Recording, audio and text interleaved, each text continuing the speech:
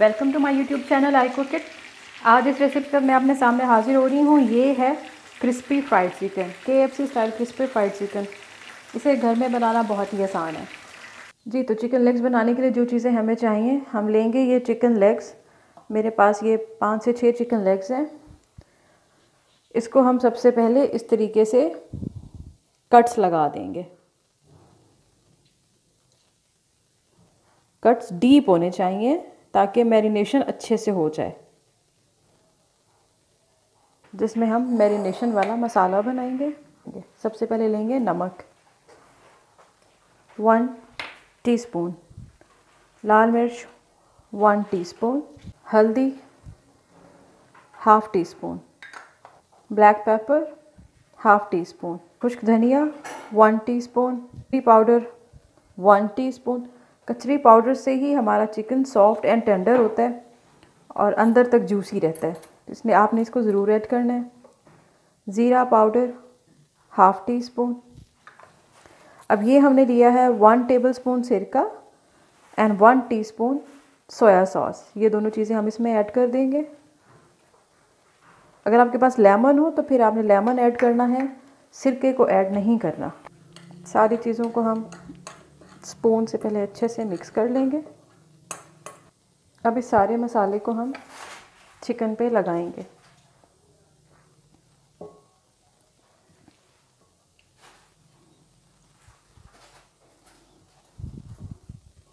Chicken पे बहुत अच्छे से हमने सारे मसाले को लगाना है, ताकि टेस्ट अंदर तक चला जाए। इसी तरह से हम सारे चिकन पे लगा देंगे।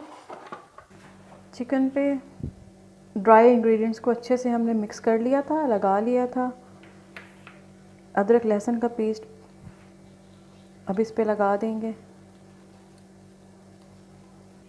जी, सारे इंग्रेडिएंट्स को हमने लगा दिए अच्छे से। अब इसे हमने आठ से दस घंटे की मैरिनेशन देनी है।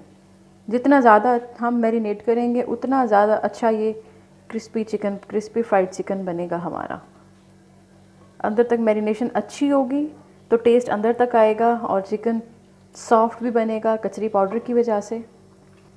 आप इसको ओवरनाइट मैरिनेशन भी कर सकते हैं और मिनिमम करनी हो तो आपने आठ से दस घंटे। जी तो व्यूअर्स चिकन को मैरिनेट किए हुए हमें आठ घंटे हो गए हैं।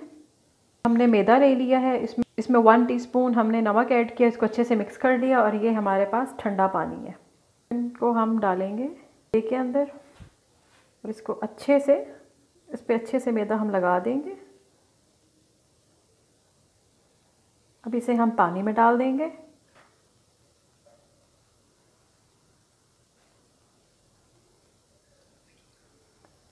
पानी में डिप करने के बाद हम इसे दोबारा मैदे में डाल के, इस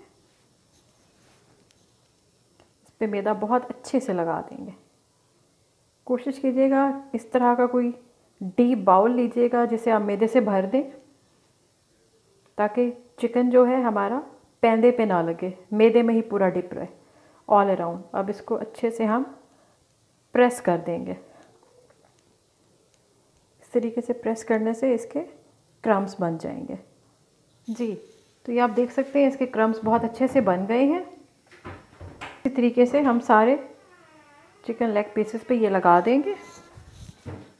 ये तो कोटिंग हमने कर दी है चिकन की।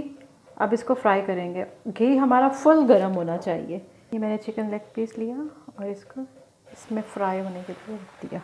वन मिनट तक इसे हमने इसी आँच पे फुल आँच पे फ्राई करना है। उसके बाद हम आँच कम कर देंगे। चिकन लेग्स हमने सारी डाल दी हैं।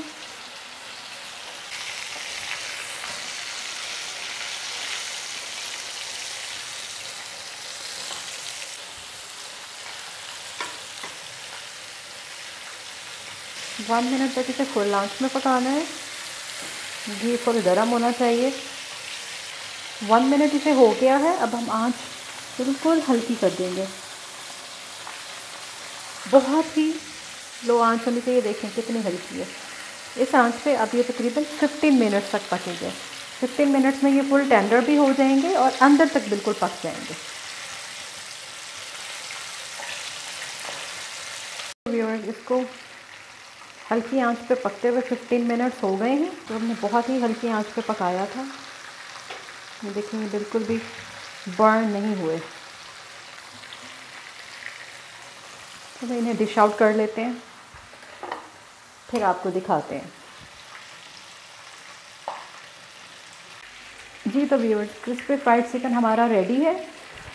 आप इस रेसिपी को अपने घर में ज़रूर ट्राई कीजिएगा। मुझे कमेंट्स में ज़रूर बताइए बताइएगा। रेसिपी आपको कैसी लगी? इन नेक्स्ट टाइम फिर किसी और रेसिपी के साथ हाजिर होंगे। तब तक के लिए अल्लाह हाफिज़।